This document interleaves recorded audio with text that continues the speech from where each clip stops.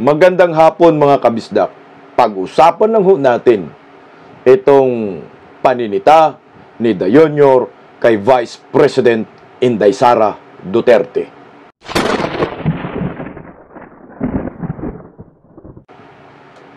Bakit si Inday Sara ang sinisita?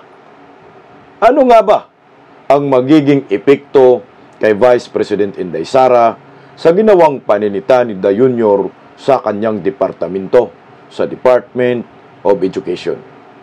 Sa sobrang dami pong ahensya ng gobyerno, bakit tila bang ang napag-initan ay si Vice President Inday Sara lamang? Ang tanong, karapat dapat bang sitahin si Vice President Inday Sara sa kanyang departamento?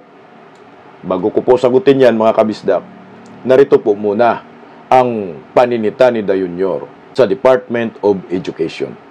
Ayon sa Philippine Star, President Marcos on Thursday ordered the Department of Education to double its efforts to improve the Philippine performance in the Program for International Student Assessment, yun nga po yung PISA, which reported on December 5, 2023, that Filipino 15-year-old students are 5 to 6 years behind their foreign peers in learning competencies.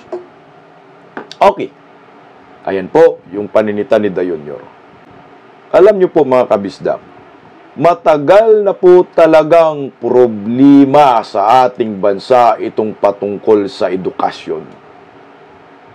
Oh, tanggap po natin, behind po tayo sa mga karatig bansa, itong sinasabi ni Dayunyor.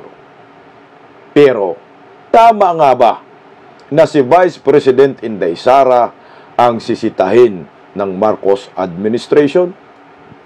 Deserve nga ba ni Inday Sara itong paninita ni Dayunyor sa kanya? Double your efforts umano. Ayon yung word na sinabi ni Dayunyor dito po sa Department of Education na pinamumunuan ni Vice President Inday Sara Duterte. Tika, hindi pa ba sapat ang ginawa ni Inday Sara sa Department of Education? Bakit nga ba si Inday Sara ang nakikita ng dalawang mga mata ni Dayunyor? Nakailan lang, nakikita po yung dalawa, biso-biso pa. Anong ibig sabihin ng biso-biso ni Dayunyor yan? Halik. Ano yan? Halik ng isang hudas?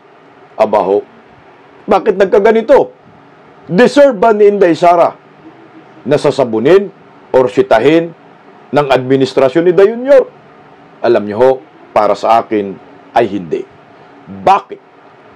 Mukhang nagkamali ho po dito si Dayunyor ng paninita sa Department of Education. Bakit po nga ba?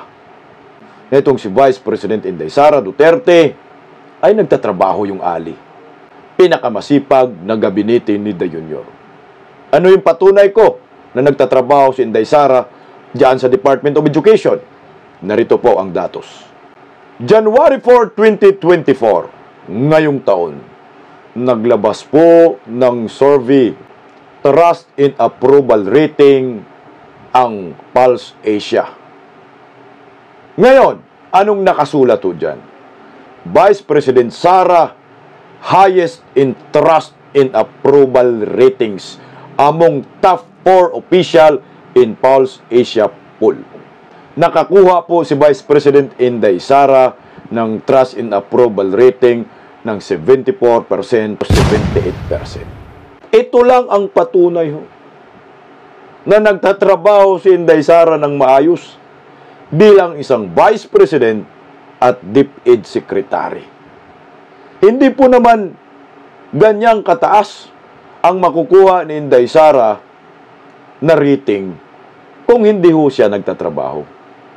Maliwanag po sa sikat ng araw na bilang isang Vice President at DepEd Secretary ay nagtatrabaho si Inday Sara. Pinaka-highest trust in approval rating sa lahat ng mga opisyal ng gobyerno kasama si Dayunyor, kasama si Tamba, kasama yung Senate President, kasama lahat po ng gabinete ni Da Junior. Kaya nga ho, mukhang nagkakamali si Da Junior ng paninita kay Vice President Inday Sara Duterte. Dahil dito pa lang sa serving ito, patunay lamang maraming Pilipino na aprobado, nagtitiwala sa ginagawa ni Vice President Inday Sara Duterte. Bakit ayaw sitahin ni Da Junior yung Department of Agriculture na dito nakasalalay yung pagtaas ng mga bilihin? Bakit ayaw sitahin ni Da Junior yung bida-bida, DILG? Bakit ayaw pong sitahin yung nasa custom na sobrang dami hong mga smuggle na produkto? Ni minsan, wala po tayong narinig na mayroong nakasuhang smugglers. Bakit ayaw sitahin yung mga ibang sekretary na napakatamad, wala pong ginagawa sa kanilang tungkulin? Bakit ayaw sitahin itong si Tamba na 39% ang trust and approval rating? Ito po yung punto ko dyan. Hindi ba ho kaya ito ay pandilin lang sa maraming Pilipino upang madurog ang pangalang Duterte? Hindi ba kaya ito ay parte ng demolition job laban sa mga Duterte? Na ayon nga po kay Senator Amy Marcos, ay merong mga foreigner na nagpupundo sa mga individual upang sirain ang mga Duterte. Teka, Da Junior, bakit si Inday ba? Wala na ba kayong nakikitang bulok na ahensya ngayon? DSWD, DPWH. Wala ho talaga kayong ibang nakita? Si Inday Sara lang? Oh, kung sino pa ngayon ang pinagkakatiwalaan ng maraming Pilipino, trust and approval rating na 74 to 78 siya pa ngayon ang sinisita. Siya pa ngayon ang sinasabon. Bakit ayaw po ninyong sabunin ang sarili ho ninyo? Sa sobrang taas ng presyo ng mga bilihin ngayon, dapat ho, sinisita ninyo yung mga in charge sa mga departamentong iyan. Department of Education, ito lang yung sasabihin ko sa inyo mga kabisdak nagtatrabaho si Vice President Inday Sara Duterte. Para sa akin, maliwanag po na itong ginagawang paninita ni Da Junior ay mahuhusgahan na naman si Vice President Inday Sara Duterte at lahat ng mga Duterte. Ang nakikinabang dito sa birada ni Da Junior ay mga kalaban ng mga Duterte at mismong mga kakampi ni Tamba. Na ayon nga po kay Vice President Inday Sara Duterte, mga ambisyosong tambaloslos kayo.